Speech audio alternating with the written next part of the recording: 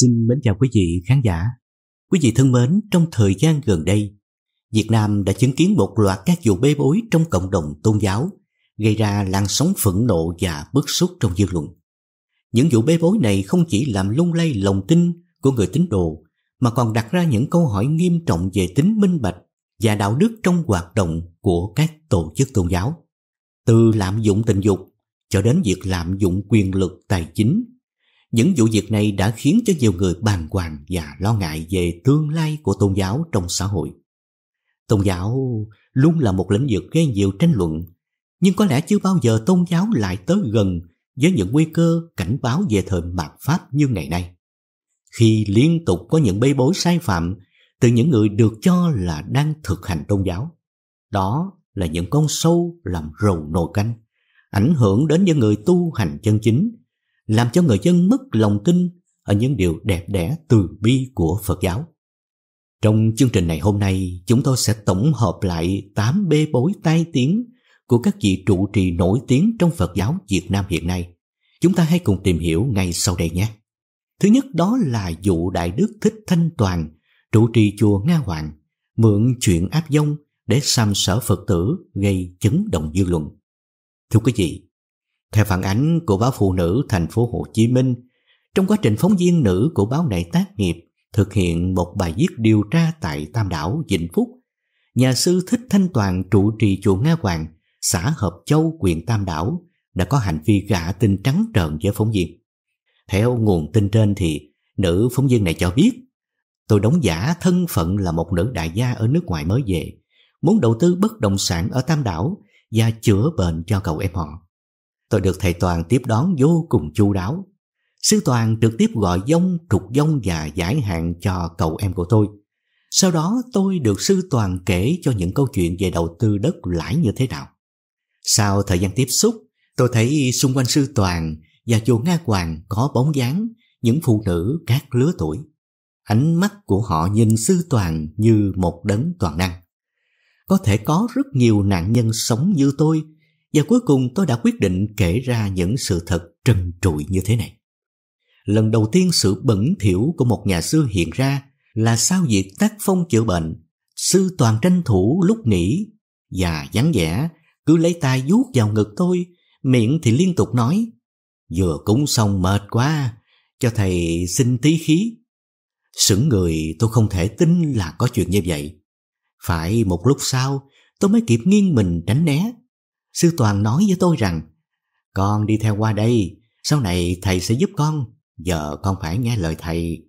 Cho thầy quan hệ tình dục đi.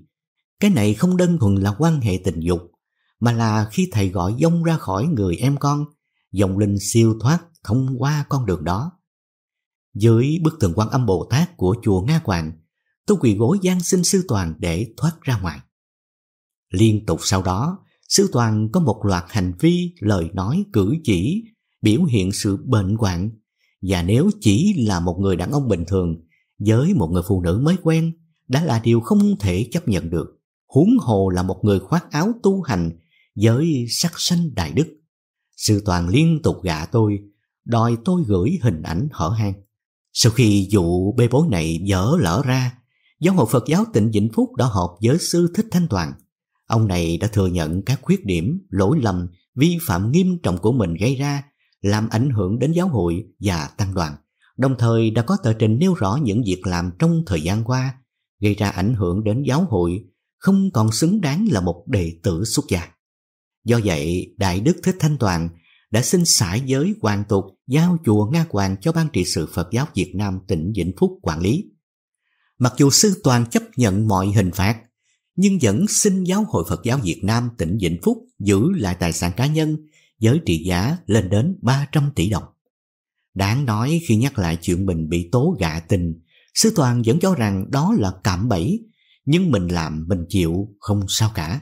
Đàn ông không sợ, còn nếu muốn lấy vợ bây giờ lấy thoải mái, không sợ gì cả, ăn chơi thoải mái, không sợ gì cả.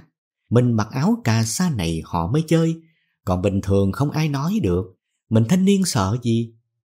Tuy nhiên Thượng tọa Thích Đức Thiện, Phó Chủ tịch Tổng Thư ký Hội đồng trị sự Giáo hội Phật giáo Việt Nam cho biết, giáo hội nhận được báo cáo cho thấy nhà sư Thích Thanh Toàn tự mua hơn 6.000 mét vuông đất xung quanh chùa Nga Hoàng của người dân.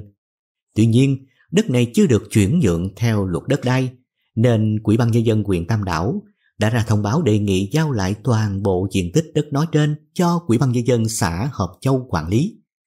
Theo luật pháp chế, một vị tỳ kheo khi vào chùa thì tất cả những gì họ đang sử dụng đều thuộc về tăng đoàn.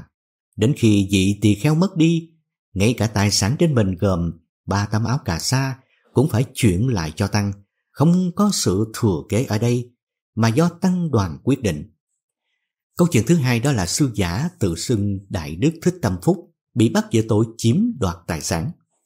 Thời gian qua ông Phúc được mạng xã hội biết đến với cái tên Thầy Thích Tâm Phúc trong hình dáng trọc đầu mặc y phục của nhà chùa thường xuyên xuất hiện trong các clip ăn thịt chó, ăn đồ mặn. Hình ảnh của ông Phúc gây nhiều ý kiến trái chiều vì không hợp với người tu hành.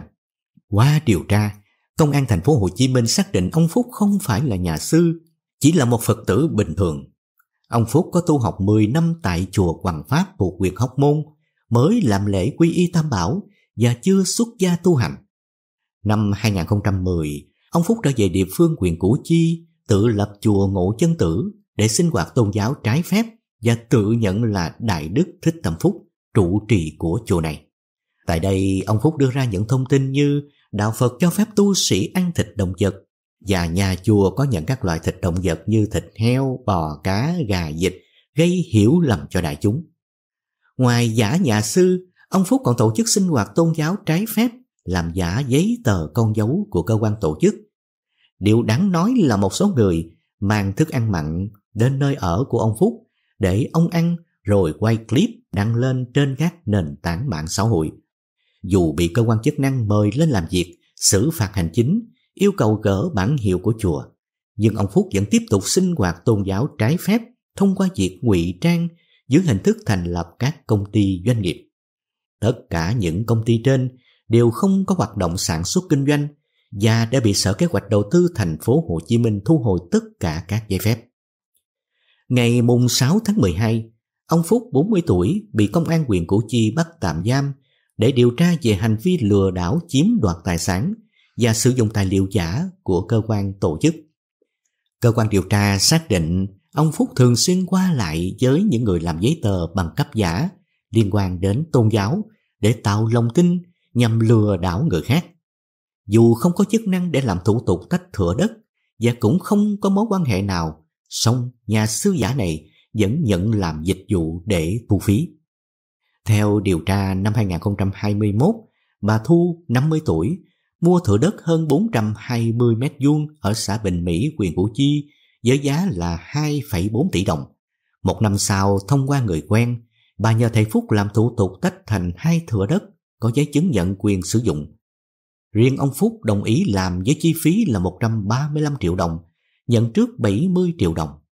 Tuy nhiên, ông này đã lên mạng xã hội thuê làm giấy chứng nhận quyền sử dụng đất giả, đưa một tờ cho bà Thu để làm tin, rồi yêu cầu đưa luôn phần còn lại.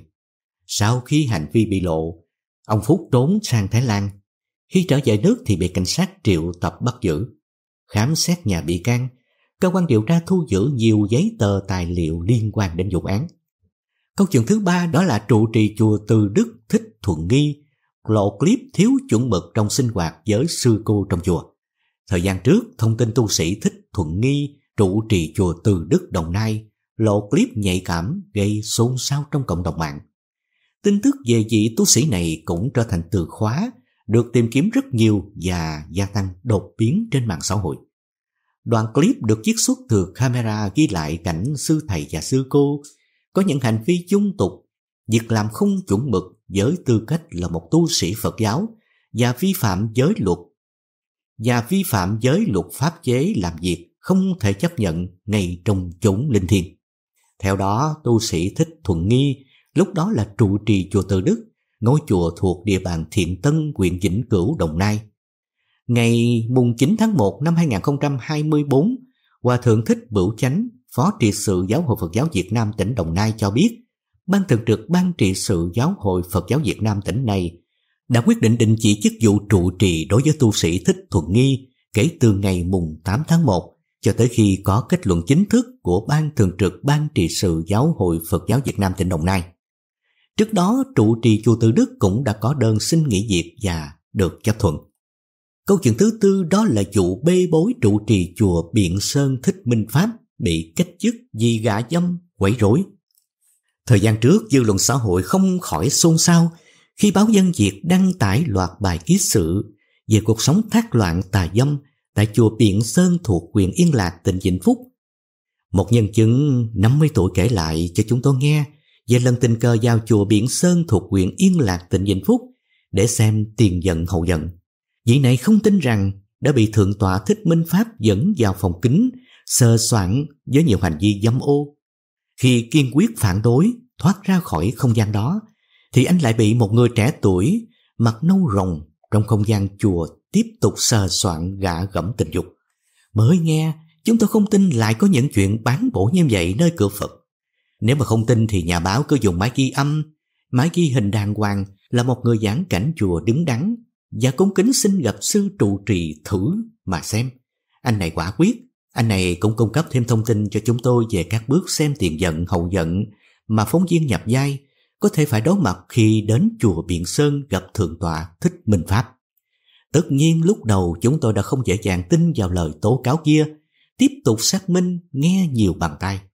Chúng tôi đã gặp một số cán bộ trong ngành y tế cấp huyện trên địa bàn tỉnh Vĩnh Phúc. Ông này cũng xác nhận có gặp vị thượng tọa kia để tham vấn xem bói, rồi bị trở thành nạn nhân tương tự như vậy.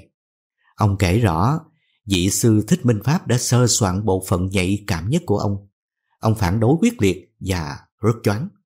Nhóm nhà báo đã quyết định trực tiếp đến chùa Biện Sơn để giảng cảnh chùa, tìm hiểu chân tướng của sự việc.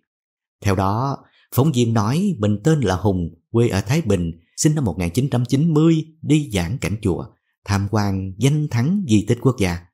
Phóng viên gặp thầy vài lần. Ngay từ lần đầu thầy đã tấn công dữ dội, gửi những hình ảnh sốc với cảnh tình dục đồng giới, với những đề nghị trắng trợn chuyện chăn gối. Cả thói quen thích game của người đồng tính nam. Tiến tới ông này nhiều lần lao vào sờ soạn thậm chí đòi mọi thứ bất chấp sự phản đối của người giảng cảnh là nam giới trẻ tuổi. Vậy mà những gì diễn ra thật không tin được dù đó là sự thật. Sau khi vụ việc bị báo chí phanh phui, người ta không khỏi ngã ngửa và bất ngờ bởi ở chính nơi trang nghiêm như cửa Phật, vị trụ trì được dân kính trọng là có thể làm ra những việc bài hoài đạo đức, trục lợi lòng tin của con nhan đệ tử như vậy. Trung ương Giáo hội Phật giáo Việt Nam ngày 19 tháng 7 đã ấn ký quyết định về việc thi hành kỷ luật miễn nhiệm toàn bộ chức danh với tu sĩ Thích Minh Pháp, trụ trì chùa Biện Sơn tỉnh Vĩnh Phúc do Ban trị sự Giáo hội Phật giáo Việt Nam tỉnh Vĩnh Phúc thi hành kỷ luật đối với tu sĩ Thích Minh Pháp, tạm đình chỉ chức vụ trụ trì chùa Biện Sơn, biệt chúng sám hối trong vòng 6 tháng. Đây là lễ Phật sám hối, không được tiếp xúc với mọi người. Câu chuyện thứ năm là nhà sư Thích Thanh Cường chuyên khoe siêu xe, điện thoại sang và trai đẹp. Khi gõ từ khóa Thích Thanh Cường trên Facebook, mọi người sẽ thấy kết quả cho ra vị sư này có một trang cá nhân Thích Thanh Cường, chùa Cương Xá và hai fanpage Đại Đức Thích Thanh Cường, người của công chúng và Thích Thanh Cường, viên chức chính phủ. Trên các trang nói trên, ngoại trừ Thích Thanh Cường, gạch ngang người của công chúng là chuyện truyền dạy Phật Pháp. Các trang còn lại thường chỉ dùng post ảnh tự sướng của thầy với những cảnh xa qua, lệch lạc như là xe sang, điện thoại sang và trai đẹp. Đặc biệt gây bảo mạng nhất là việc thầy đăng clip mô tả việc thầy tậu con iPhone 6 dung lượng 64GB đầu tiên ở Hải Dương năm 2014. Kể đó là việc thầy bỏ điện thoại iPhone 6 để sở hữu Convertu có giá là 600 triệu đồng. Thầy chia sẻ là từ hôm mùng 1 tháng 9 âm tức là ngày tậu được con iPhone 6 được nổi tiếng. Hôm nay có một đại gia bảo con biếu thầy chiếc điện thoại Vertu trị giá trên 600 triệu đồng cho nó xứng tầm của thầy. Trên fanpage Thích Thanh Cường gạch ngang chiên chức chính phủ, hình nền của trang là hình sư thầy đứng cạnh một chiếc xe hơi Maybach sang trọng. Các status trên trang này là những cảnh thầy đứng cạnh các hot boy người nổi tiếng theo ông Cường, chủ cửa hàng điện thoại trong clip là người quen và là Phật tử thường xuyên đến chùa cúng bái. Ngày 1 tháng 9 âm lịch, cửa hàng nhập lô máy điện thoại iPhone 6 về nên nhờ ông Cường ra xem máy lấy ngay. Về bức ảnh chụp cùng chiếc điện thoại Vertu gây bảo, ông Cường giải thích là khi tôi đang xem điện thoại thì có một vị khách là chủ cửa hàng nội thất gần đấy cũng bảo vào cửa hàng xem. Đấy cũng là người quen của tôi. Chiếc điện thoại Vertu là của vị khách này. Lúc đó tôi có mượn máy của họ để chụp ảnh. Sau khi về thì tôi đăng clip và ảnh lên trang Facebook của mình để chia sẻ cho bạn bè và quảng cáo cho cửa hàng.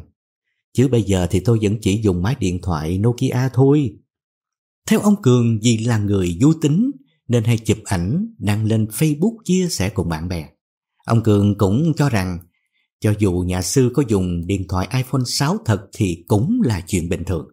Theo Thượng tọa Thích Thanh Dân, Phó trưởng ban trị sự Giáo hội Phật giáo Việt Nam tỉnh Hải Dương, căn cứ vào hiến chương Giáo hội Phật giáo Việt Nam và căn cứ vào tình hình thực tế vừa xảy ra, việc làm của thầy Cường đã làm ảnh hưởng đến thanh danh của giáo hội, ảnh hưởng tới phẩm chất của nhà tu hành, tạo hiệu ứng xã hội không tốt trên cộng đồng mạng, cũng như uy tín của Giáo hội Phật giáo Việt Nam tỉnh Hải Dương nói riêng và Giáo hội Phật giáo Việt Nam nói chung.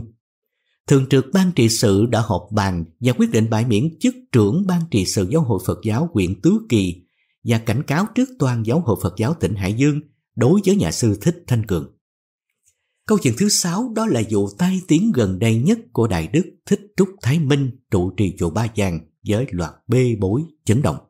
Thời gian qua dư luận phủ sống về vụ việc tranh cãi xá lệ tốc Đức Phật tại chùa Ba Giang do Đại Đức Thích Trúc Thái Minh trụ trì đã khiến cho nhiều người tranh cãi và không khỏi đặt ra nghi vấn rằng liệu xá lợi đó là thật hay giả. Nhà chùa có đang trục lợi lòng tin ở nhân dân hay không? Tuy nhiên, lật lại thời gian trước thì quá khứ của ngôi chùa này cũng không kém phần long trọng với những vụ phanh phui chấn động như thỉnh dông giải nghiệp phát ngôn gây chùa Ba Giang sẽ diễn ra lễ thỉnh dông giải nghiệp thu hút hàng ngàn người tham dự trên một đợt. Trước khi bị phanh phui, hàng vạn lượt khách tới nơi này dù muốn hay không đều được khuyến khích tìm hiểu về nghiệp tiền kiếp, dông, thỉnh dông hoặc quan gia trái chủ. Mỗi lần thỉnh dông lại trực tiếp ngã giá cho người trần bằng những con số không hề nhỏ. Lượt người bị dông đòi nợ ít nhất hơn trăm triệu đồng là không nhiều, trong khi những người bị đòi từ 7 đến 15 triệu đồng lại rất đông. Sự việc sau khi được phát giác đã gây ra nhiều bất bình trong công chúng cũng như cộng đồng tăng ni Phật tử. Chính vì vậy, chính quyền và công an đã vào cuộc điều tra làm rõ. Phó giáo sư tiến sĩ Chu Văn Tuấn, Viện trưởng Viện Nghiên cứu Tôn giáo khẳng định Chuyện dòng bảo quán như chùa Ba Vàng tuyên truyền là bịa đặt. Việc chùa này thu tiền thỉnh dông giải nghiệp của người dân là trục lợi niềm tin. Ban tôn giáo chính phủ cũng khẳng định các hiện tượng trục dông gọi hồn là không có trong truyền thống Phật giáo, vi phạm luật tín ngưỡng tôn giáo. Sau khi vụ việc được dư luận quan tâm, Chủ tịch Ủy ban nhân dân thành phố Uông Bí Nguyễn Mạnh Hà đã khẳng định rằng chùa Ba Vàng cố tình che giấu sai phạm Đại Đức Thích Trúc Thái Minh phải hoàn toàn chịu trách nhiệm, đồng thời phạt 5 triệu đồng đối với bà Phạm Thị Yến với hành vi vi phạm nếp sống văn hóa. Tuy nhiên dù sự việc này chưa lắng xuống được bao lâu thì chùa Ba Vàng lại tiếp tục tổ chức chiêm bái xá lễ tốc Đức Phật cách đây hơn 2.600 năm. Đây là bảo vật quốc gia của người Myanmar. Với người Myanmar, xá lệ tốc Đức Phật là bảo vật vô giá, cho nên quá trình rước và trưng bày luôn là lúc các nhà bảo tồn lo ngại nhất vì sợ bảo vật ấy sẽ bị xâm phạm, bị ảnh hưởng dù là nhỏ nhất. Thực tế, tại các ngôi chùa ở Myanmar, xá lợi luôn được bảo vệ nghiêm ngặt trong những chiếc hộp đựng trên những bục cao được lực lượng canh giữ 24 trên 7. Tuy nhiên, khi đến chùa Ba Vàng chưa bàn đến chuyện một bảo vật quốc gia như vậy được đưa về Việt Nam mà không hề có sự thông qua của chính quyền nhà nước hay giáo hội Phật giáo, hơn nữa, công tác bảo quản và trưng bày tại chùa Ba Chiêm Bái và truyền thông về xá lệ tốc Đức Phật gặp phải những ý kiến trái chiều gây ra ảnh hưởng nghiêm trọng tới niềm tin của Phật giáo và uy tín của giáo hội. Câu chương thứ bảy đó là Đại Đức Thích Nhuận Đức giảng Pháp có phần trở nên phản cảm. Xuất phát từ video được lan truyền trên mạng xã hội, các phát ngôn và thuyết giảng của Đại Đức Thích Nhuận Đức đã làm suy giảm niềm tin của xã hội đối với Phật giáo và Giáo hội Phật giáo Việt Nam.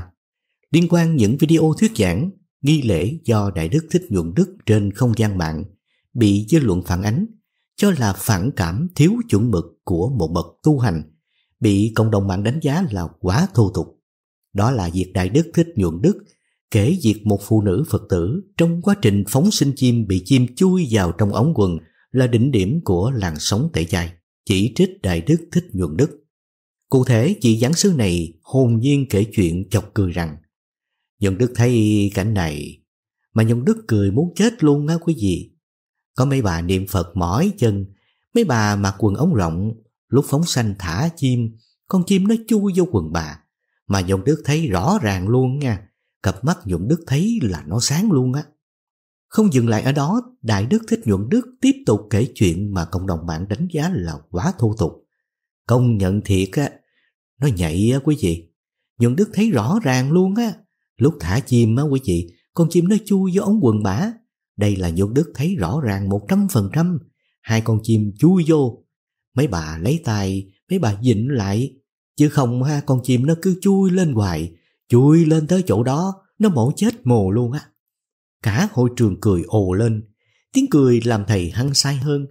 Thì quý vị biết lúc đó Dũng Đức nói, thôi, chui ra đi mày, sao mày mổ động lại chi vậy mày?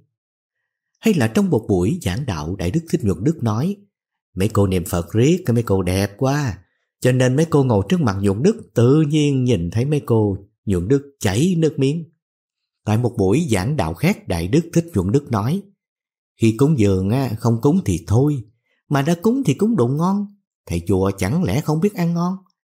Thầy còn tự nhận mình là người thẳng thắn thích chửi, ngồi xuống chúng ta cùng chửi nhau. Không chỉ vậy, việc thầy nhuận đức tặng máy niệm Phật, sau đó để lại tài khoản cúng dường trong món quà với gợi ý tùy hỷ, cũng tạo nên một làn sóng dư luận không tốt trên mạng xã hội. Như chúng ta đã biết chiều ngày 6 tháng 6 năm 2024, thông tin từ văn phòng 2 Trung ương Giáo hội Phật giáo Việt Nam đã có thông báo về hình thức kỷ luật liên quan những video thuyết giảng, nghi lễ do Đại Đức Thích Nhuận Đức bị cho là phản cảm. Giáo hội quyết định kỷ luật cấm Đại Đức Thích Nhuận Đức thuyết giảng dưới mọi hình thức trong vòng một năm và phải sám hối chư tăng chịu kỷ luật biệt chúng tại Tổ đình Hộ Pháp, thị xã Phú Mỹ, tỉnh Bà Rịa Vũng Tàu. Câu chuyện thứ 8 đó là Thượng tọa Thích Chân Quang thuyết giảng nhiều câu nói gây tranh cãi, gây bức xúc trong lòng quần chúng, không có bằng cấp 3 ngang nhiên lấn chiếm đất rừng phòng hộ.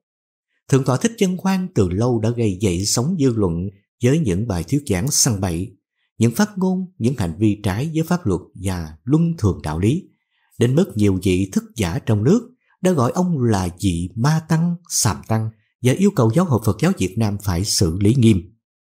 Những phát ngôn đã từng gây bão của Thượng tọa Thích Chân Quang và mới nhất là lời nói thằng Ba Trận chính là đỉnh điểm khiến cho dư luận đổ dồn mọi ánh mắt về một vị tu hành. Trong những bài thuyết giảng của Thượng tọa xuất hiện nhiều câu nói gây tranh cãi bức xúc trong lòng quần chúng, nào là không được nhét tiền mệnh giá thấp vào tay tượng Phật, và hãy lấy tiền mệnh giá cao đặt vào tay trụ trì. Làm đẹp là tạo nghiệp, hát karaoke chết là ma câm. Đến việc ngồi máy lạnh bật nước nóng cũng gặp quả ác. Mấy người trong cà phê là bị mang nghiệp rất nặng cái giọng là nơi tiêu diệt hết công đức của chúng sinh, dân dân. Đề tài được bàn luận nhiều nhất trên mạng xã hội mấy ngày qua là con đường học vấn và bằng cấp của Thượng tọa Thích Chân Quang, trụ trì chùa Thiền Tôn Phật Quang ở tỉnh Bà Rịa Vũng Tàu. Kính thưa quý vị, trên mạng lưu truyền một tấm ảnh bằng tốt nghiệp cấp 3 bổ túc văn hóa có tên là Dương Tấn Kiệt, tên thật của Thượng tọa Thích Chân Quang, do Sở Giáo dục và Đào tạo Thành phố Hồ Chí Minh cấp ngày 12 tháng 7 năm 1989. Kết thúc quá trình điều tra, Sở Giáo dục và Đào tạo Thành phố Hồ Chí Minh xác nhận kết quả rà soát hồ sơ thi tốt nghiệp trung học phổ thông của Thượng tọa Thích trần Quang như sau. Ông Dương Tấn Diệt không có tên trong danh sách dự thi và bản ghi tên ghi điểm trong kỳ thi tốt nghiệp bổ túc văn hóa cấp 3 năm 1989 của Sở Giáo dục và Đào tạo Thành phố Hồ Chí Minh. Không có tên trong danh sách cấp bằng tốt nghiệp cấp 3 bổ túc văn hóa khóa ngày 6 tháng 6 năm 1989 của Sở Giáo dục và Đào tạo Thành phố Hồ Chí Minh. Từ kết quả rà soát của Sở Giáo dục và Đào tạo Thành phố Hồ Chí Minh, có thể thấy Thượng tọa Thích Chân Quang không có văn bằng tốt nghiệp cấp 3 bổ túc văn hóa. Sau đó, theo báo công thương có nêu rõ, Chùa của Thượng tọa Thích Chân Quang lộ chuyện ngang nhiên lấn chiếm đất rừng. Trong tổng số 36 công trình chùa xây dựng trên đất thì chùa Phật Quang do Thượng tọa Thích Chân Quang làm trụ trì, xây 35 công trình không có giấy phép. Xây dựng trên đất rừng phòng hộ do nhà nước quản lý. Kính thưa quý vị, cách đây hơn 2.500 năm, Đức Phật Thích Ca Mâu Ni đã từng dự ngôn rằng sau khi Ngài ly thế cũng chính là vào thời kỳ mạt Pháp thì Phật Pháp mà Ngài truyền sẽ bị phá hư diệt vong và trong thời mạt Pháp sẽ xuất hiện rất nhiều tăng nhân giả làm thiện tri thức đưa chúng sinh lầm đường lạc lối. Chúng ta chẳng thể biết được khi nào thì đến thời mạt Pháp. Nhưng nhìn vào thực trạng ngày nay, chúng ta lại thấy càng có nhiều người mang mắt thầy tu, nhưng lại làm ra những điều trái với luân thường đạo lý, ô quại đạo đức tới mức không thể chấp nhận được, khiến cho dân chúng ngày càng mất niềm tin. Tuy nhiên, nếu mọi người đều biết tự chấn chỉnh mình, tu tại gia, giữ tâm thiện lành trong sáng, hiếu kính với cha mẹ, làm việc thiện giúp đời thì ác Phật sẽ hiện trong tâm. Ngoài kia vẫn còn rất nhiều những vị chân tu đích thực vẫn đang miệt mài cống hiến và truyền bá những điều tốt đẹp cho con người. Do đó, kính mong cô bác hãy giữ vững niềm tin ở từ bi tốt đẹp, tránh xa những nơi u mê, cuồng tính. Chắc chắn ngày càng có nhiều bông hoa đẹp thêm sắc cho đời. Dân, đúng vậy. Trong bất kỳ hoàn cảnh nào, việc tự chấn chỉnh bản thân và duy trì một tâm hồn trong sáng và thiện lành là điều rất quan trọng. Điều này không chỉ làm cho mọi người trở nên hạnh phúc và an lạc trong cuộc sống, mà còn làm cho thế giới trở nên tốt đẹp hơn. Chúng tôi xin chân thành cảm ơn quý vị và các bạn đã dành thời gian theo dõi chương trình này. Hy vọng những gì chúng tôi đã chia sẻ ít nhiều sẽ mang lại cho quý vị và các bạn những suy nghĩ tích cực và ý nghĩa. Chúng tôi xin hẹn gặp lại và chúc quý vị và các bạn một ngày tuyệt vời và an lành. Quý Phật tử và quý khán thính giả thân mến, mỗi khi nhắc đến ngôi chùa Ba Vàng ở Uông Bí, tỉnh Quảng Ninh, chắc hẳn chúng ta ai cũng biết đó là một ngôi chùa nguy nga tráng lệ, xếp vào hạng bậc nhất trong số các ngôi chùa ở Việt Nam. To lớn là thế, uy nghi là thế. Tuy nhiên ngôi chùa này không chỉ nổi tiếng với bề nổi ở bên ngoài, mà còn biết đến với những hoạt động bên trong gây nhiều tranh cãi trong thời gian vừa qua. Mới đây nhất, chùa Ba Vàng một lần nữa lại là địa điểm được cư dân mạng nhắc đến tên. Với một hoạt động không mấy lạ lẫm gắn với ngôi chùa này. Lần này nguồn cơn xuất phát từ một đoạn clip ghi lại hình ảnh một cô gái bị vong nhập khi tham gia khóa tu mùa hè. Nếu nói về hoạt động triệu vong, gọi vong, thỉnh vong, oan gia trái chủ, thì đây không phải là lần đầu tiên ngôi chùa này bị déo tên. Tuy nhiên cộng đồng phẫn nộ gay gắt vì việc này xảy ra trong khóa tu mùa hè. Khóa tu mà hàng ngàn Phật tử nhỏ tuổi được các bậc phụ huynh gửi gắm tới chùa tu học trong dịp nghỉ hè. Vậy thực hư câu chuyện này là như thế nào? Xin mời quý Phật tử và quý khán thính giả cùng theo dõi hết video hôm nay của chúng tôi. Vâng thưa quý vị, những ngày gần đây một số trang mạng xã hội đăng tải đoạn video được cho là trong khóa tu mùa hè năm 2024 này tại chùa Ba Vàng xuất hiện cảnh quay những cô gái có biểu hiện lạ như co giật, choáng váng không kiểm soát được cơ thể. Được mô tả là vong nhập, khi trụ trì chùa Ba Vàng là Thích Trúc Thái Minh đang giảng về đạo Phật. Sau đó là những lời nhà chùa giải thích về sự việc rằng do nghiệp từ kiếp trước. Video trên được nhiều người chia sẻ lên các trang mạng xã hội và nhận về nhiều bình luận trái chiều. Đa phần là bình luận không đồng tình với cách giải thích của nhà chùa. Chủ đề của khóa tu mùa hè năm nay là về nguồn, tri ân và báo ân, thắp sáng niềm tin, tâm trong trí sáng, hoài bão lớn. Thời gian của mỗi khóa tu kéo dài không quá 7 ngày, được tổ chức trong thời gian nghỉ hè của học sinh sinh viên, theo quy định của nhà trường tại mỗi địa phương. Nhưng sau khi đoạn clip được lan truyền, trụ trì chùa đã lên tiếng đính chính. Mới đây sau những ồn ào này, nhà chùa bất ngờ có thông báo tạm hoãn tổ chức các khóa tu mùa hè do phụ huynh và khóa sinh đăng ký. Cụ thể vào trưa ngày 21 tháng 6, chùa Ba Vàng bất ngờ phát đi thông báo tạm dừng khóa tu mùa hè. Cụ thể thông báo của chùa Ba Vàng nêu Khóa tu mùa hè chùa Ba Vàng đợt 1 năm 2024 đã kết thúc tốt đẹp, góp phần lan tỏa những giá trị văn hóa đạo đức Phật giáo và rèn luyện kỹ năng sống cho hơn 6.000 khóa sinh với tất cả sự thương yêu chăm sóc về tinh thần và vật chất tốt nhất mà nhà chùa dành cho các em. Do bận một số vật sự quan trọng trong mùa an cư kiết hạ, nhà chùa xin thông báo tạm hoãn tổ chức các khóa tu mùa hè mà quý phụ huynh và khóa sinh đã đăng ký, cho đến khi có thông báo mới. Trong thời gian chưa có thông báo chính thức, quý phụ huynh và khóa sinh có thể tham gia các khóa tu thường kỳ của chùa Ba Vàng và các khóa tu mùa hè của các chùa, cơ sở tự viện khác thuộc Giáo hội Phật giáo Việt Nam. Mới đây, Ủy ban Nhân dân thành phố Uông Bí, tỉnh Quảng Ninh đã có buổi làm việc với chùa Ba Vàng liên quan đến đoạn clip trên mạng xã hội về bài giảng trong một khóa tu mùa hè có nội dung vong nhập, gây nhiều ý kiến khác nhau. Trước đó một số trang mạng xã hội đăng tải clip được cho là trong khóa tu mùa hè tại chùa Ba Vàng, thành phố Uông Bí, tỉnh Quảng Ninh. Trong clip xuất hiện hình ảnh cô gái có những biểu hiện lạ như co giật, choáng váng, không kiểm soát được cơ thể do vong nhập khi trụ trì chùa Ba Vàng Thích Trúc Thái Minh đang giảng về đạo Phật. Không chỉ vậy, bà Phạm Thị Yến đã đứng lên thuyết giảng một câu chuyện nghiệp chướng, được cho là đã diễn ra từ 14 kiếp trước của học sinh này. Lời kể của bà Yến cho biết, oan gia trái chủ của cô gái là một vong linh, một cô gái rất đẹp trong làng. Người này giải thích, do kiếp trước cô gái khởi ý, dù vong linh, khiến nó làm việc ác, nên kiếp này vong linh oán và thành oan gia trái chủ của cô gái. Từ trường hợp của cô gái nói trên, bà Yến nói với các học sinh đang theo học khóa tu là ai có ý định dùng người khác làm việc ác, thì người đó có tội rất nặng, và người làm theo tội cũng nặng. Như thế cô gái sẽ tiêu được nghiệp trong đời này như những chật vật trong đường tình duyên và hạnh phúc gia đình. Nếu không có thể bị hãm hiếp, hoặc bị lấy rất nhiều chồng mà toàn những người phụ bạc, không tốt với mình, bà Yến nói.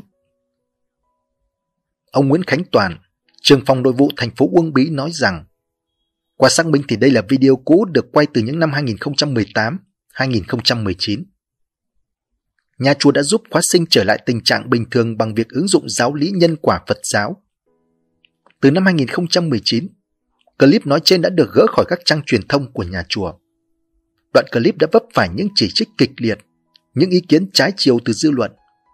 Giảng viên Nguyễn Thanh Huy từ trường Đại học Khánh Hòa, người chuyên nghiên cứu về ngôn ngữ và Phật học, hôm 20 tháng 6 nói về suy nghĩ của ông liên quan đến clip vong nhập vừa qua tại chùa Ba Vàng như sau.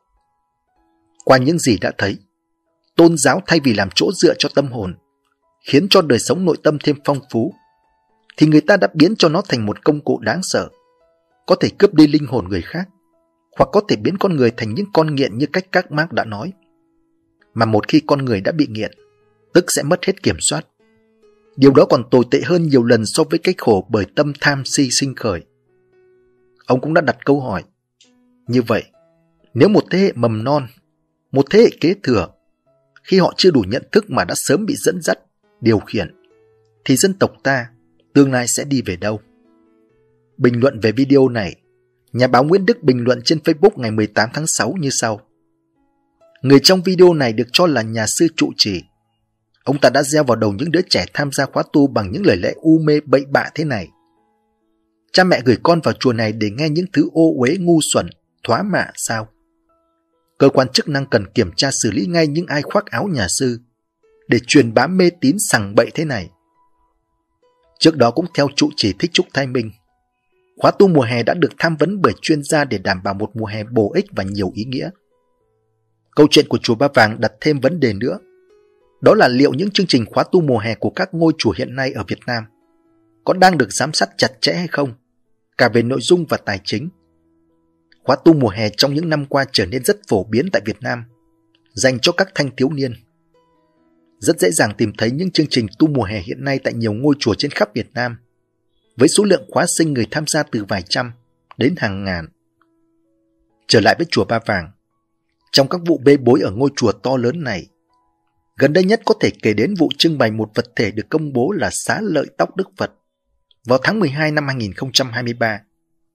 Thỉnh vong giải oán hồi năm 2019.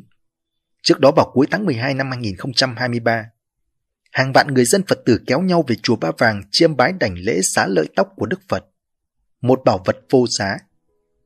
Đó là một trong tám sợi tóc mà Đức Phật tự tay nhổ trên đầu mình, trao cho hai thương buôn người Myanmar hơn 2.600 năm trước, khiến dư luận dậy sóng. Chùa Ba Vàng còn đưa thông tin xá lợi tóc là vô cùng linh thiêng cao quý, cho nên những ai dù chỉ một lần cung kính đảnh lễ chiêm bái, cúng dường, cũng được vô lượng phúc báu cho hiện đời và nhiều đời về sau. Bởi năng lực của Đức Phật vẫn còn đang hiện diện trên thế gian này, thông qua xá lợi tóc chuyển động. Cho nên khi chúng ta bạch Phật thì Ngài vẫn gia hộ. Đáng chú ý chùa Ba Vàng còn đăng tải đoạn clip ghi lại cảnh xá lợi tóc Đức Phật nói trên có thể chuyển động, kèm thông tin rằng trải qua 2.600 năm, sợi tóc vẫn còn nguyên vẹn. Hàng vạn nhân dân Phật tử đã tận mắt chứng kiến sợi tóc quay liên tục, với nhiều hình dáng khác nhau. Dù xung quanh không có gì để căng kéo hay điều khiển, khác hoàn toàn so với tóc của người bình thường. Nhiều người hoài nghi về nguồn gốc của xá lợi tóc Đức Phật này, nhất là tuổi đời đã hơn 2.600 năm. Theo thông tin từ Cổng Thông tin Điện tử tỉnh Quảng Ninh, vào ngày 2 tháng 1, từ ngày 23 đến ngày 27 tháng 12 năm 2023, Chùa Ba Vàng tổ chức rước trưng bày cái gọi là xá lợi tóc Đức Phật cho nhân dân chiêm bái. Và một số hoạt động là chưa đúng quy định của pháp luật về chủ thể, cũng như thời gian đăng ký theo luật tín ngưỡng tôn giáo. Và Nghị định số 162 ngày 30 tháng 12 năm 2017 của Chính phủ quy định chi tiết một số điều và biện pháp thi hành luật tín ngưỡng tôn giáo. Việc tổ chức cho Phật tử chiêm bái cái gọi là xá lợi tóc Đức Phật chính là hoạt động triển lãm. Vì vậy đã vi phạm quy định tại Nghị định số 23 năm 2019 của Chính phủ về hoạt động triển lãm. Sau khi vụ việc xá lợi tóc Đức Phật được đăng tải, thì trên mạng Facebook có một tài khoản đã khẳng định đây là cỏ pili, một loại cỏ khô được tìm thấy ở nhiều nơi. Thậm chí ngay tại tỉnh An Giang cũng có loại cỏ này, và khi gặp khí hậu độ ẩm nhất định, cũng sẽ tự chuyển động. Trước thông tin nói trên, Thượng tọa Thích Đạo Hiền, Phó Chủ tịch Hội đồng Trị sự Giáo hội Phật giáo Việt Nam tỉnh Quảng Ninh cho biết, Chúng tôi chưa nắm được thông tin về việc chùa Ba Vàng trưng bày xá lợi tóc Đức Phật có từ 2.600 năm trước. Giáo hội cũng chưa nhận được thông tin liên quan. Trong khi đó, một lãnh đạo Sở Văn hóa Thông tin tỉnh Quảng Ninh cho rằng chùa Ba Vàng trưng bày xá lợi nói trên là việc nội tự, không cần phải xin phép. Đơn vị cũng cử cơ quan chuyên môn để làm rõ thông tin sự việc trên. Tỉnh Quảng Ninh yêu cầu chùa Ba Vàng không biên soạn, sản xuất các video hình ảnh tư liệu và gỡ bỏ toàn bộ các thông tin giới thiệu về Phật thể, được coi là xá lợi tóc Đức Phật, và đưa lên các trang thông tin của chùa và của Đại Đức Thích Trúc Thái Minh, cũng như các trang mạng xã hội có liên quan đến sự việc trên, gây dư luận phức tạp, làm ảnh hưởng đến an ninh trật tự và các hoạt động tôn giáo tín ngưỡng bình thường trên địa bàn. Tập thể Ban Thường trực Hội đồng Trị sự quyết định kỷ luật cảnh cáo Đại Đức Thích Trúc Thái Minh.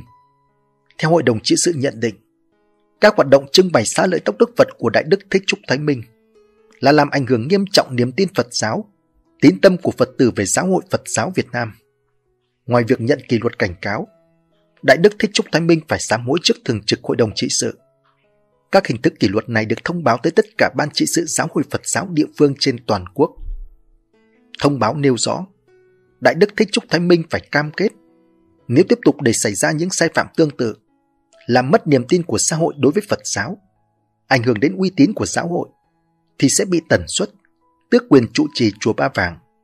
Hay trong một clip, trụ trì của chùa Ba Vàng Đại Đức Thích Trúc Thái Minh khi đang phát trẻ cho mọi người, bỗng xua tay không phát cho một trẻ em. Hành động này làm bùng lên nhiều tranh cãi. Hàng loạt bình luận chỉ trích ông Thích Trúc Thái Minh chỉ phát lộc cho người cúng dường cho chùa, mà không ngó ngàng đến những Phật tử nhỏ tuổi khác. Theo đó, trụ trì chùa Ba Vàng xác nhận đoạn clip được quay tại chùa nhân dịp đại lễ Phật đàn. Có hàng chục người đã tham gia lễ hội Tết ẩm thực hôm đó. Tuy clip là thật, nhưng chưa phải toàn bộ câu chuyện. Thầy Thích Trúc Thái Minh khẳng định mình không phân biệt các Phật tử, đối xử mọi người bình đẳng như nhau. Sở dĩ ông không chia trẻ cho em nhỏ trong clip là vì có khu vực riêng dành cho thiếu nhi. Đang phát quà cho đại biểu thì có mấy cháu nhỏ chạy vào.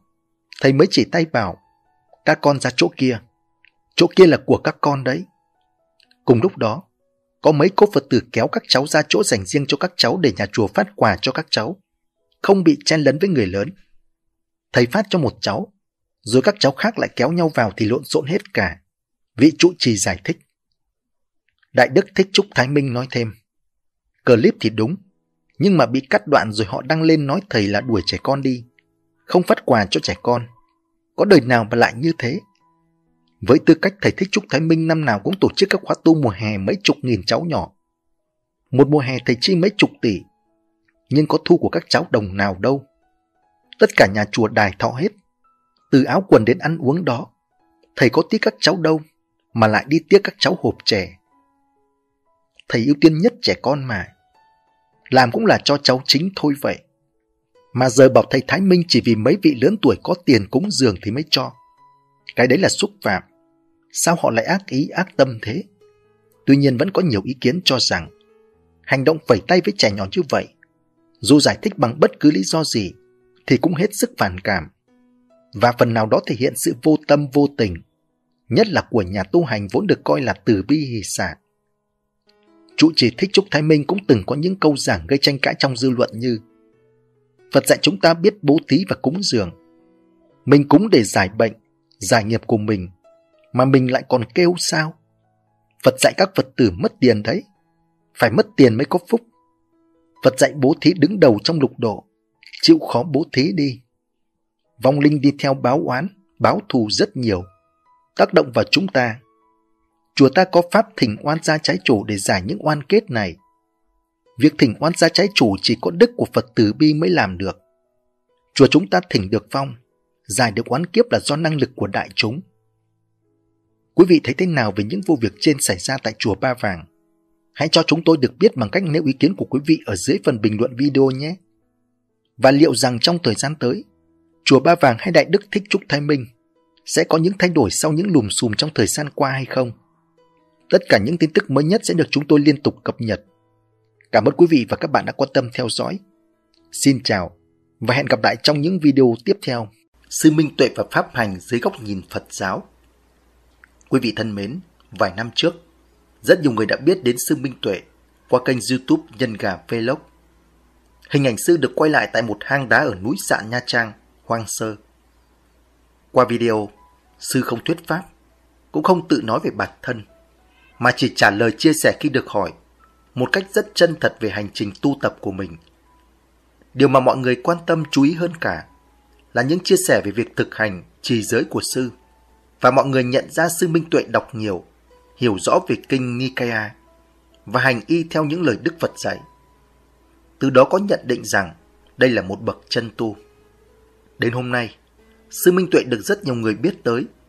Chúng ta không nên dùng từ nổi tiếng đối với một bậc tu hành và có sức lan tỏa rộng khắp, vượt ra cả biên giới quốc gia. Và câu chuyện về sư Minh Tuệ trở nên nóng hơn bao giờ hết, khiến cơ thể phải chịu nhiều đau đớn có nguồn gốc từ Bà La Môn. Như vậy khổ hạnh đầu đảng như nào đó là tiền thân của con đường trung đạo và vẫn gần với nó nhất. Nhiều người lại cho rằng tu hành quan trọng ở trí tuệ chứ không phải làm khổ cái thân. Nhưng họ nhầm lẫn giữa trí tuệ thế gian với trí tuệ Phật. Trí tuệ thế gian là khả năng nhận thức của con người, có từ di truyền và học hành. Trong khi trí tuệ Phật chỉ được khai mở khi người tu phải biết nghiêm trì giới luật có giới mới có định, có định mới sinh tuệ. Cho nên Đức Phật nói, ở đâu có giới hạnh, ở đó có trí tuệ và ngược lại. Thực hành hạnh đầu đà, cốt lõi là để chấm dứt mọi phiền não trần cấu. Vì ở pháp hành này, giúp hành giả có thể hộ trì các căn, không bị chi phối bởi hoàn cảnh, dần đoạn diệt tham sân si.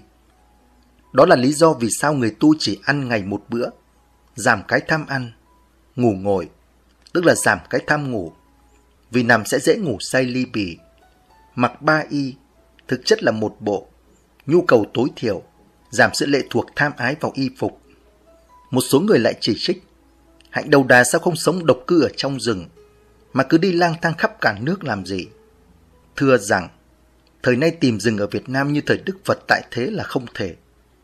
Và sư cũng đã từng có thời gian ẩn tu trên núi sản, Vậy tại sao ông quyết định chọn lựa cách bộ hành đi khắp đất nước? Như ông trả lời, đó là đi tập học và rèn luyện sức khỏe. Thực ra nếu hiểu sâu, thì ông đang thực hành đúng chánh pháp như lai. Vì đi như bao và rõ nét hơn ta nhiều. Đó là, sư đã giúp nhiều người thấy được hình ảnh của Phật giáo nguyên thủy và bóng dáng tu hành, cuộc đời Đức Phật. Sư như một tấm gương chiếu yêu, có thể làm lộ ra chân tướng của một số sàm tăng chuyển khoản tăng, hiến kế tăng. Sư đã khiến nhiều người đang mê lạc tà đạo, thức tỉnh trở về với ánh sáng của chánh pháp. Sư đã khiến nhiều người vẫn giữ được niềm tin vào Phật giáo Và ngay cả những tín đồ tôn giáo khác cũng có cái nhìn thiện cảm và mến mộ đạo Phật. Sư đã khiến nhiều người tự soi xét lại mình mà giảm bớt tham sân si trong cuộc sống.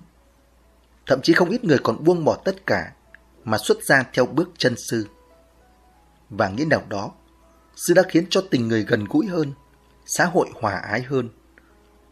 Vậy nếu cả xã hội mà cứ làm được như sư thì tốt biết bao. Khi đó tôi tin chắc, xã hội không chỉ có ăn, có mặc, mà còn có một đời sống an lạc, hạnh phúc hơn rất nhiều. Nhưng tiếc thay, làm như sư sẽ không được mấy người đâu. Lại có người thắc mắc rằng, sao thầy tu mà xưng con, không xưng thầy với người khác? Thứ nhất, ông đã chọn con đường buông xả, không còn ràng buộc việc tu tập ở chùa, cũng như không nhận mình là sư là thầy ai cả, cốt để khỏi ảnh hưởng đến bất cứ ai, và không bị phiền hà về chuyện giấy tờ tu sĩ. Thứ hai, việc tự xưng thầy như các nhà sư với Phật tử ngày nay chỉ là thói quen trong giao tiếp, không có sự ràng buộc nào.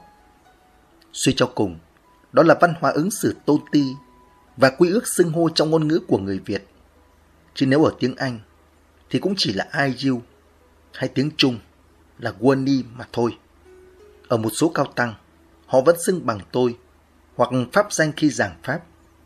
Còn sư Minh Tuệ xưng con với tất cả đại chúng. Hiểu sâu hơn, đó là ông đã thực hành phá chấp ngã, tức ông không quan niệm mình là thầy, bỏ qua cái tôi mà khiêm hạ với mọi người. Rõ ràng đây chính là tinh thần vô ngã.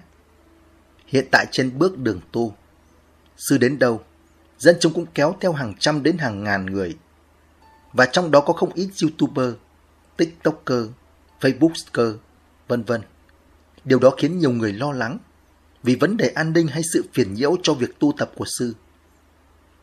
Theo tôi, chúng ta chớ vội mà trách cứ chửi bới những người làm các kênh mạng xã hội. Hãy nhìn vào mặt tích cực của họ. Vì nếu không có họ, thì làm sao tạo ra những hiệu ứng tốt đẹp lan tỏa về một bậc chân tu? Và với thời đại này, cũng cần nhìn nhận rằng việc Hoàng Dương tránh pháp, phổ độ chúng sinh, chia sẻ những điều tốt đẹp sẽ rất hữu hiệu khi có sự hỗ trợ của truyền thông và mạng xã hội. Nếu không thì làm sao Phật tử ở Việt Nam biết đến những bài giảng của Sư Pháp Hòa hay Tịnh Không và của những bậc cao tăng khác nữa. Mặt khác, sự tu tập của họ cũng là một phép thử để Sư Minh Tuệ thực hành chế ngự tâm.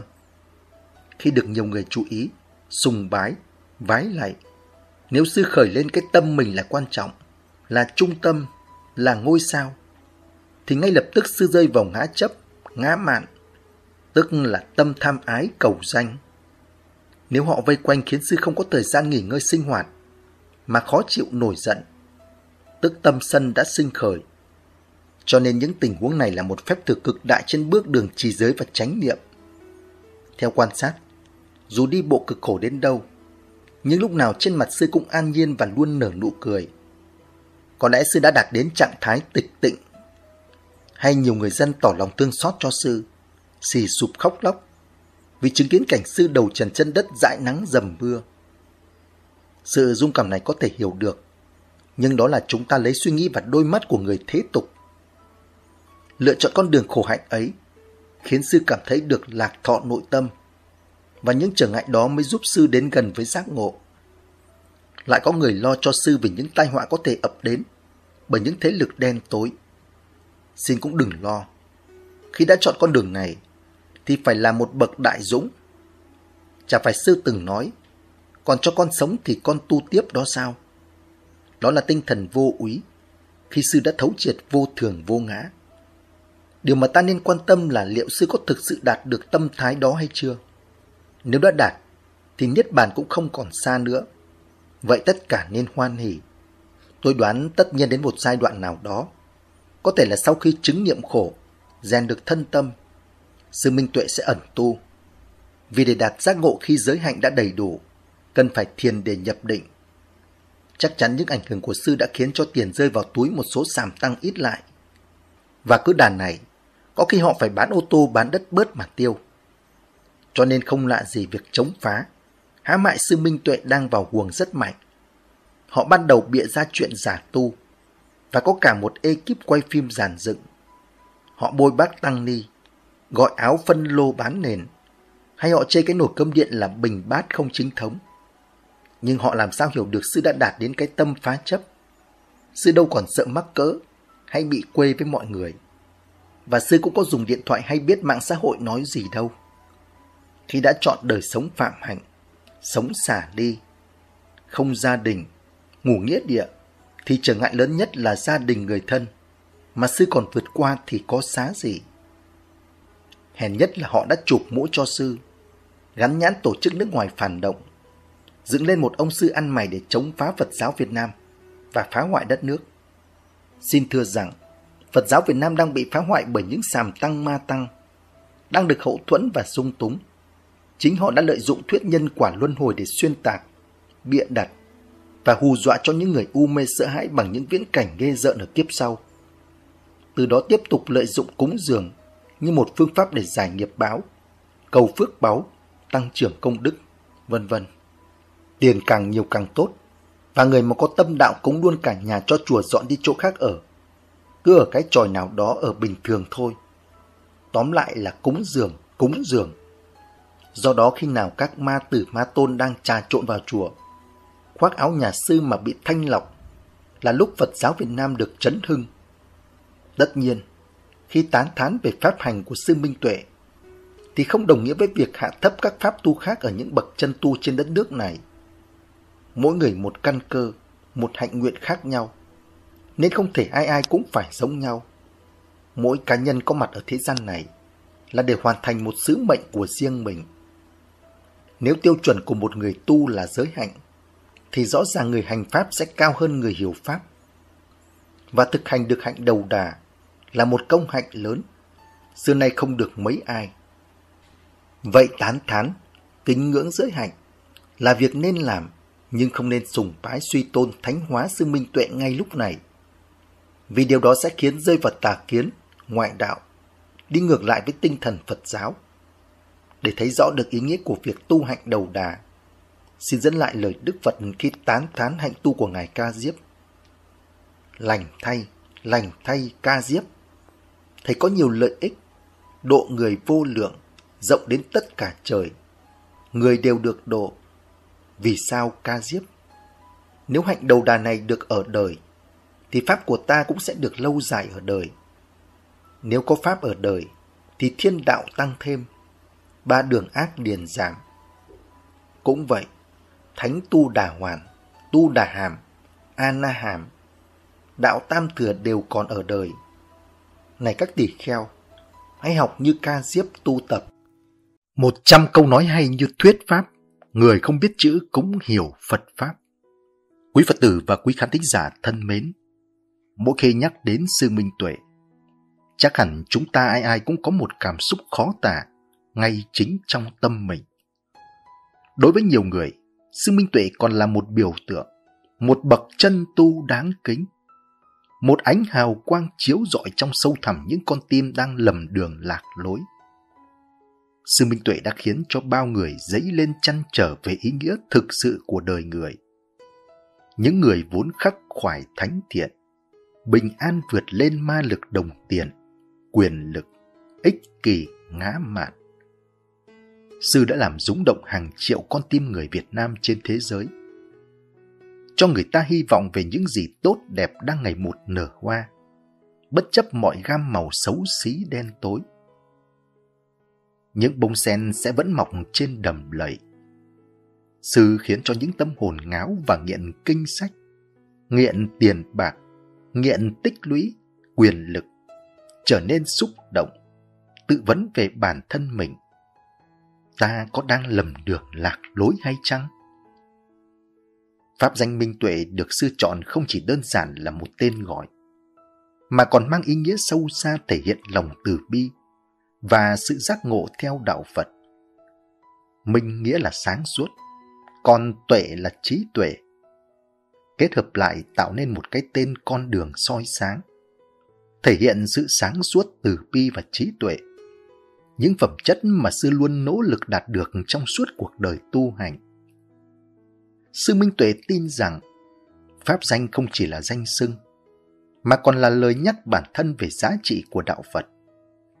Ngài luôn sống đúng với những gì pháp danh của mình đại diện, mang lại ánh sáng và trí tuệ cho mọi người. Đường phố Việt Nam chúng ta giờ đây không còn những ồn ào náo nhiệt, không còn những đoàn người đi theo một vị chân tu đầu trần chân đất, không còn những tiếng còi xe, những chen chúc xô lẫn nhau để tới gần sư minh tuệ.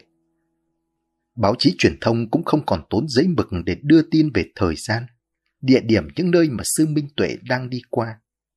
Phía cơ quan chức năng địa phương không còn những lo lắng để đảm bảo an toàn và trật tự xã hội. Mọi thứ trở về với hiện tại họ đang làm.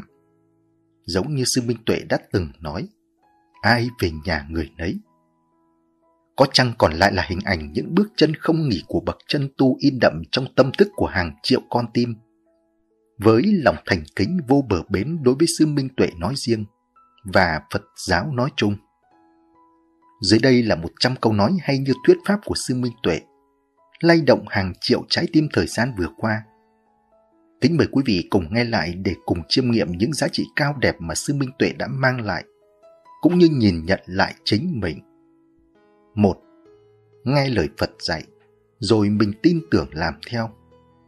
Nếu mà mình hành trì như thế này, thì được thành quả buông bỏ. Công đức của mình được an lạc, hạnh phúc, thì mới tiến lên được trí tuệ. Chứ mà mình không làm được, thì mình không đạt được cái đấy. Mình kiên quyết, đặt niềm tin ở Phật, làm theo lời dạy của Phật.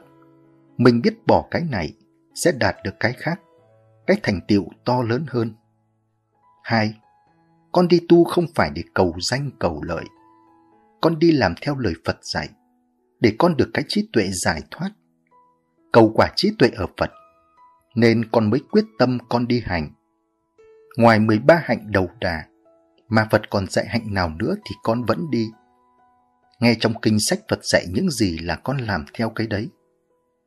Con phát nguyện tu hạnh đầu đà, không những đời này, mà nhiều đời nữa đến khi thành tựu quả trí tuệ thì thôi. Phát tâm Bồ Đề, tu thành vô thượng tránh đẳng tránh giác. 3. Toàn bộ tam tàng kinh điển của Phật như bát nhã, hay là các loại kinh sách đại thừa con đều học. Tất cả đều nghiên cứu kỹ lưỡng. Mình hiểu được chỗ nào mình hiểu, chứ không phải mỗi kinh Nikaya là Phật thuyết còn những kinh khác nhưng mà mình không hiểu được, thì mình nói không phải điều Phật thuyết cả. Tại vì mỗi Phật thuyết mỗi người là mỗi căn cơ. Tùy đối tượng theo căn cơ đó, chứ không phải ai cũng nói giống ai cả. 4. Cầm ban đi xin ăn là hèn hạ thấp kém. Tại vì trong kinh Đức Thế Tôn cũng nói thế. Ngài nói, đây là nghề hèn hạ nhất, thấp kém nhất, đáng được nguyền rủa nhất ôm cái bát trên tay chạy chỗ này chỗ kia để đi xin ăn. Mình không phải là không kiếm được mà ăn. Mình cũng không phải là không có trí tuệ để làm mà ăn. Mình làm là theo lời Phật dạy. Vì mục đích lý tưởng Phật dạy để có trí tuệ, để giải thoát. Vẫn biết đó là nghề hèn hạ, nhưng mình vẫn chấp nhận. Mình không có sợ xấu hổ hay gì cả. Mình vẫn can đảm mình ôm bát đi khất thực Kể cả họ chửi mắng đánh đập mình vẫn kiên trì để mình thoát khổ là tốt rồi. 5. Con xưng con là vì con là một người nhỏ bé. Con không phải là sư, không phải là thầy. Con là một người công dân Việt Nam học theo lời dạy của Đức Thế Tôn. Con mong cho anh sau này thành Phật để con được đi theo con học. Tại vì bây giờ có thể anh chưa tu hành, nhưng mà mai mốt anh lại tu hành thành Phật sớm cũng nên. Vì vậy kêu như thế cũng không có ảnh hưởng gì cả. Như là một lời mong muốn anh có thể xứng đáng không được thành Phật, thì cũng thành vị sư vị thầy giỏi hơn con, để con được đi theo con học. 6. Mỗi người đều có một căn duyên, có một số phận, không phải ai cũng giống ai cả. Có người thì người ta hướng tới xây chùa để người ta giảng, hỗ trợ cho Phật tử nhiều hơn. Có người thì hướng đến con đường rừng núi, hay là sống lang thang độc cư một mình, không ai giống ai cả. Trên thế giới này tùy theo căn duyên thôi. Vị nào muốn học như thế nào thì học, hay là thực hiện theo ý nguyện của họ, chứ mình không bắt họ thế này thế kia. Bảy, Con không có gì nữa nên con không có sợ. Không sợ người ta lấy tiền bạc hay là lấy vợ mình, tài sản, nhà cửa, xe cộ. Không canh mất cái gì cả. Còn mỗi cái mạng đây mà họ muốn giết thì cho họ giết. Có bộ y áo mà họ cần thiết lấy, họ vui vẻ thì mình cũng cho họ luôn. Mình không có gì nữa. Nếu mà mình còn tài sản nhiều, còn luyến ái nhiều thì nó khổ. Phật dạy là ái luyến sinh sầu âu, ái luyến sinh sợ hãi. Ai giải thoát ái luyến, sầu đâu sợ hãi. Mình bỏ được cái ái thì mình không sợ nữa. 8. Đối với con là con không hề nhận tiền bằng hình thức nào cả. Con không lấy tiền bạc gì của ai. Đấy là đi hạnh đầu đà. Con cũng không có nhận quà, nhận chùa, nhận đất, nhận bò heo. Nhận không có gì là giả. Con chỉ tự mình đi khất thực khi vào được ngày nào thì hành ngày ấy. Tiền bạc thì đối với con không bao giờ con nhận. Như điện thoại cũng không. 9. Đi trên đường, họ chửi nhưng mà con im lặng. Họ khen chê gì con cũng thế. Chê khen gì cũng bình thường. Tại vì khen mình cũng chả được cái gì. Họ chửi mình rồi cũng đi qua. Đi trên đường có nhiều người có duyên thì họ bố thí. Đó là công đức của họ. Nói chung là duyên nhân quả. Họ hạnh phúc, mình cũng hạnh phúc. Nhưng con thấy khi người ta chửi thì không được như cho cái gì đó. Khi cho họ cười vui hớn hở. Còn cái chửi thì toàn đỏ mặt với cau có không à. Hai cái trạng thái đó con thấy nên ở trạng thái cười vui vẻ tốt hơn. 10. A-di-đà Phật là giới, định, tuệ. Phải có giới để tu hành. Mình phải tìm hiểu giới như thế nào, định như thế nào, rồi mình học, chứ không phải đọc suông như thế. Giới là không sát sinh, không nói dối, không tà dâm, không rượu bia, không trộm cắp. Cứ giữ được cái giấy đó chính là A-di-đà. Có định, có tuệ là A-di-đà Phật. Mình niệm như thế, mình phát tâm cái vô lượng chính đẳng giác. Rồi mình sống bố thí, trì giới, nhẫn nhục, tu thiền. Tinh tấn sáu ba la mật phải làm cho được. 11. Con không học chú Đại Bi vì cái đó không phải là pháp hành. Chú Đại Bi chẳng hạn như họ đọc lên để với mục đích làm gì.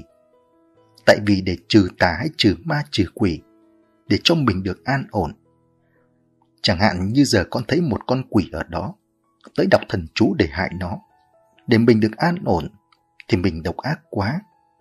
Mình tử bi, mình hại họ, mình đuổi họ đi để mình được an ổn thì đâu có được. Chẳng hạn như con quỷ nó nói tôi muốn giết ông, không cho ông sống nữa, thì nếu mình có câu thần chú đó mình cũng không đọc. Nếu mình đọc cho con quỷ đó chết, mà mình sống, thì không gọi là từ bi nữa. Nếu nó giết được thì cho nó giết. 12. Con không có bảo mọi người đảnh lễ. Mọi người cứ sống làm điều thiện, giữ giới, sống bố thí, lương thiện là đảnh lễ rồi. Con thì không có bói toán, không có bùa phép bùa ngải, hay bất cứ gì cả. Con chỉ học giữ giới luật thôi, chứ không có thần chú ban phát, thần thông thần biến, trị bệnh gì cả. Con chỉ tập học 13 hạnh đầu đà, con phải học cho được. 13. Để làm một vị trụ trì hay xây chùa to lớn, đó là tùy duyên của họ. Cái phước của họ, họ mới có. Như con nghiệp nặng, phước ít, nên con phải đi theo con đường này để đọc đức đã. Khi nào mà đủ phước đức thì con chưa biết. Nhưng mà những vị như thế thì họ đầy đủ phước đức thì mới được như thế. 14. Mình giữ giới. Đừng có nói láo. Đừng có uống rượu bia. Đừng trộm cắp. Đừng sát sanh. Đừng tà dâm làm như thế là thuốc. Chứ còn không có thuốc gì cả. Mọi người làm điều thiện thì mọi người có phước. Làm điều ác thì mang nghiệp. 15. Con không có bảo mọi người đảnh lễ. Mọi người cứ sống làm điều thiện, giữ giới, sống bố thí lương thiện là đành lễ rồi. Con thì không có bói toán, không có bùa phép bùa ngài hay bất cứ gì cả. Con chỉ học giữ giới luật thôi, chứ không có thần chú ban phát, thần thông thần biến trị bệnh gì cả. Con chỉ tập học 13 hạnh đầu đà, con phải học cho được. 16. Có người nói con lấy áo của nhà chùa để đắp y thì kệ họ. Cho họ nghi ngờ. Họ muốn cho là áo nhà chùa thì là việc của họ. Mình, con không hề nhận tiền, vì phát nguyện của con là để mọi người có niềm tin và học tập theo lời Phật dạy. 19. Có hôm con đi khất thực. Họ hỏi ông đi đâu? Con nói con đi hành khất. Rồi họ bảo ông đứng đây. Tôi giảng cho ông nghe. Rồi ông bảo sao không đi làm mà ăn. Rồi đâm cho xịt máu mồm. Con cũng vui vẻ. Mong cho họ sống hạnh phúc rồi mình đi thôi. Mình gọi đây là nhân quả. Cái nghiệp như thế này thì mình cũng vui vẻ. Cho dù họ có lấy gậy hay lấy dao cũng thế. Đó là do nhân duyên cũng chẳng qua là chướng ngại thử thách cho mình. Mình vẫn mong cho họ gặp điều tốt lành, được hạnh phúc vui vẻ, rồi mình đi thôi. Cho dù họ có hại mạng mình, mình cũng thế. 20. Thời Đức Phật thì có đi chân không? Trong kinh nói như thế. Trong tràng luật thì có người vẫn đi dép như tỳ kheo. Mọi người đọc thì sẽ biết. Như con thì không mang dép sẽ tốt hơn mang dép. Vì khi mình đi là để tránh nghiệm, biết đau chân để mình nhìn đường mình đi. Chứ mà mang dép thì cứ kéo lẹt xẹt. Mắt thì nhìn lên trên trời, chứ không lo nhìn ở dưới. Còn khi mình không đi dép thì mình lo nhìn xuống dưới để tránh bớt đá gai nhọn và không dẫm phải chúng xanh như kiến. Khi đi dép thì cái chân êm rồi, nên không lo nữa. 21. Mình ăn đồ ăn người ta cho đâu phải dễ ăn. Đức Thế Tôn nói, ăn đồ ăn cất thực đó giống như nuốt hòn sắt hay là mang cái áo của người gia chủ chúng đó giống như lấy sắt nóng mà áp rồi quấn lên người hay là sự đảnh lễ cúng dường của người ta giống như lấy sợi lông đuôi ngựa rồi siết cho đứt da đứt thịt đứt xương đứt cho tới tủy rồi dừng lại như thế thì mình không dám mình ăn đồ khất thực thì phải lo mà tu hành mình mà không siêng năng tu tập thì mình về mình tự làm mình ăn chứ mang cái nợ đó nguy hiểm không nợ được 22. Con ngày xưa cũng đi làm nghĩ kiếm được nhiều tiền là hạnh phúc. Nhưng mà không phải. Ôm đống tiền rồi vẫn khổ. Cho dù anh ngồi trên đống vàng rồi vẫn khổ. Anh bữa sau nếu mà không tin, anh đi hỏi mấy người giàu có hỏi thử xem họ có hạnh phúc không. Có người ngồi trên đống quyền chức như vua rồi vẫn khổ. Mình thấy như thế nên mình biết thì ra là hạnh phúc không phải là do nhiều tài sản hay nhiều thứ khác mà hạnh phúc là không có cái gì cả. Mình thấy ai cũng tham cả. Mình không tham nữa nên mình vui vẻ. Họ có nhà, mình không có nhà. Sẵn nơi nào ở đường thì mình ở, rồi mai mình đi mất. Nếu mà có cái nhà, thì mình phải ở đây để mình giữ kẻo họ phá. Nhưng mà con giờ không có sợ mất cái gì nữa. Kể cả cái thân của con giờ đây con cũng bỏ. Do mình sợ chết, sợ đánh đập, nhưng mà rời mình không sợ chết, không sợ họ đánh đập nữa. 23. Con không có đệ tử, họ đi theo thì mình cũng không cấm. Mình xem như anh em. Chẳng hạn như mình bát cơm, thì phải cho họ bát cháo. Mình phải chỉ cho họ. Nhưng cũng cái duyên cái nghiệp ở đâu họ theo cái hạnh của mình. 24. Cảnh thần tiên thì con vẫn chưa thoát khỏi phàm phu được. Chưa giải thoát được. Vẫn bị giấc mơ chi phối nhưng không phải mơ ác mộng, mà là mơ an lạc. Nhưng mà mình cũng không thích. Mình chán. Mình mong đừng có mơ nữa. Tại vì mơ đó là cái lạc. Cái đó phải bỏ. Cái khổ cũng bỏ. Mà lạc cũng bỏ. Vì như thế mới giải thoát nổi. Chứ không thì khó lắm. Đi tu như này rất khó. Đầu tiên là cái gian nan. Mình chịu không nổi. Nó đau, nó sốt, nó cảm, nó đổ bệnh. Nghiệp trong thân nó ra, khi đó mình phải học tập. Không dễ đâu, nhưng con nghe theo Phật. Phật dạy là không có thất bại. 25. Ngồi thiền nếu bạn đau đớn quá, càng có ngồi mà càng bệnh tật, thì không nên thiền. Ngồi thiền mà làm ít bệnh tật, ít đau đớn, mà vượt qua được, thì nên ngồi mà học tập. Tại vì thiền liên quan đến giới định. Giờ mà càng ngồi thiền càng bệnh, thì do giới chưa nghiêm chỉnh mình học tập giới đã, làm điều thiện đã. Khi mà học tập giới nghiêm chỉnh rồi, mà cảm thọ đau, thì mình chiến thắng được bệnh tật, thì mình nên làm. Còn mình không chiến thắng được thì mình không nên làm. Tùy theo trường hợp mà mình làm. 26. Mình bị hiếm muộn là do nhân quả. Đời trước mình có con rồi bỏ, hay là cái gì đó mình không có tôn trọng. Giờ mình không có con nữa. Giờ kể cả có con hay không có, thì mình đọc tất cả kinh điển hồi hướng. Đời trước mình như thế nào đó, nên rời đời này nó không tới với mình nữa. Nó lại sợ mình bỏ nó nữa. Nên thôi, mình có một cái nhân quả khác. Trong kinh tiểu hộ cũng nói là làm nhiều việc tốt, việc thiện, hồi hướng công đức, rồi cũng được sinh con. 27. Con cho họ đi theo lỡ họ mắc bệnh hay là bị đau chết thì họ tự chịu. Việc của họ đi là tự nguyện, con không có đuổi. Mình làm cái gì là tự nhân quả của mình. Tự mình tu hành theo lời Phật dạy, thì mình cứ chấp nhận. Đi được thì quyền của họ, tự họ muốn thì cứ đi. Tại vì đường cũng không của riêng ai cả. Phật Pháp Đức Phật cũng không của riêng ai cả, mà của nhân loại. Những lời dạy đó ai muốn học thì học. Phật Pháp không phải của xã hội, không phải của riêng Việt Nam. Ai muốn học thì cứ học, quyền tự do. 28. Con không có nhận tiền, con không có đi xe. Xin được chỗ nào thì nghỉ chỗ đó, rồi mai đi tiếp. Chừng này thôi là quá đủ với con rồi. Đến chỗ nào họ cho mượn tấm cắt tông hoặc cái gì trải sơ sơ để ngủ qua đêm. Con còn chưa học hành được tới đâu cả, còn nhiều lắm. 29. Từ khi mặt trời mọc lên vào buổi sớm, thuận duyên chỗ nào, khi nào họ bố thí đủ thức ăn thì con ăn khi đó. Chỉ ăn trước 12 giờ thôi. Sau 12 giờ là con không ăn nữa. Con có cái nguyện là ăn uống trong cái bình bát đó.